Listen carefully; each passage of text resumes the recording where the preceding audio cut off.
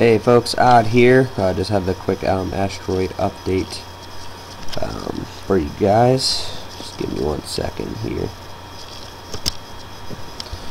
Um, I got this information from Griffin Walker, um, a friend and subscriber on my channel, so I'm going to go ahead and I'm going to show you guys all of this. Just give me one second here.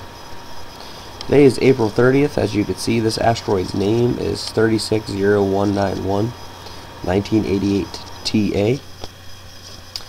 Um, right now, it is exactly 0.0861 astronomical units from the Earth. So I'm going to go through this slowly. May 1st, 0.078 astronomical units. 0.07 astronomical units on May 2nd. May 3rd, 0.064 astronomical units. May 4th, 0.05 astronomical units. May 5th, 0.051. May 6th, 0.046. May 7th, 0.041. May 8th, 0.037. May 9th, 0.034. May 10th, 0.033.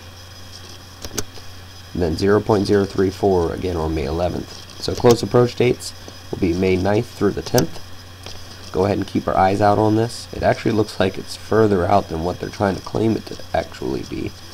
But I'm going to go ahead and I'm going to keep our eye out on this just to make sure nothing funny happens with this asteroid. Okay, because uh, pretty much showing it's like right next to Earth. But you know, we had an asteroid that was closer a few months ago that had a further out, it was 0.01 astronomical units, but it looked like it was like right on top of Earth. So I'm a little fishy and a little suspect on this. Yeah, 1988, they should have a long time tracking this object, but I don't know. This object's 400 meters in size.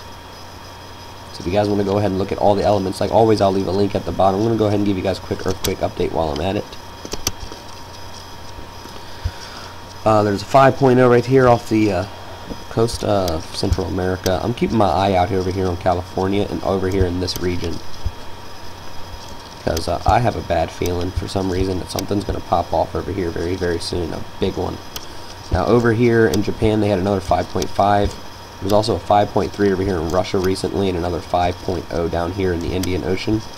This is another re region of interest that I'm going to be keeping my eye on. As you can see for the earthquakes for the week, a lot of earthquakes, a lot of lava movement all the way through and through. A lot of action also happening over here, you know, on the western side of the earth. I'm going to go ahead and keep our eyes out on all of this. So there you go, folks. That's the update. Much love, and may God bless.